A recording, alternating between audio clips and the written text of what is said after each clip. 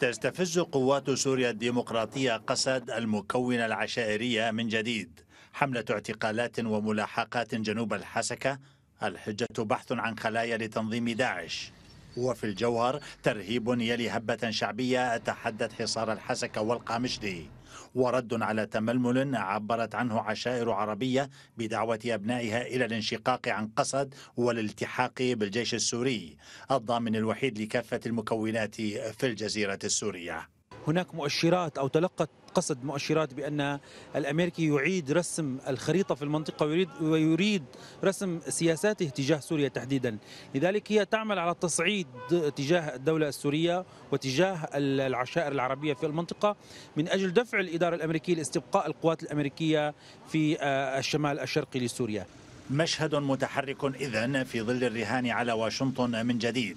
لم يخفي قائد قصد مظلوم عبدي في تصريحاته الأخيرة التطلع إلى تفعيل الدور الأمريكي في ظل إدارة بايدن والانتقال إلى تصحيح أخطاء سلفه كما يرى. رهان يعيد طرح سيناريوهات التصعيد مع دمشق بعيدا من الطريق الأقصر والأسهل عبر تفعيل الحوار بحثا عن تسويات وطنية جامعة. يبدو أن قسد يريد تكرير أخطائه ويريد أيضا مرة أخرى التعويل على أوراق واهية وهي أن الأمريكي آه، يعتقد بأن الأمريكي يريد البقاء في المنطقة علما بأن كل الدراسات وكل الأبحاث وكل المقالات التي تكتب اليوم هي آه، إعطاء نصائح لبايدن للخروج من سوريا.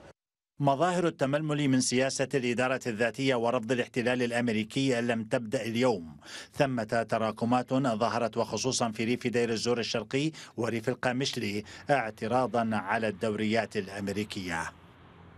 على الأرض استعادت الحسكة والقامشلي حياتهما الطبيعية كما كانت قبل الأسابيع الثلاثة الماضية لكن عودة قصد للرهان على واشنطن من جديد وللابتعاد عن دمشق تنذر بتعقيدات أكبر تطال شرق الفرات بأسره.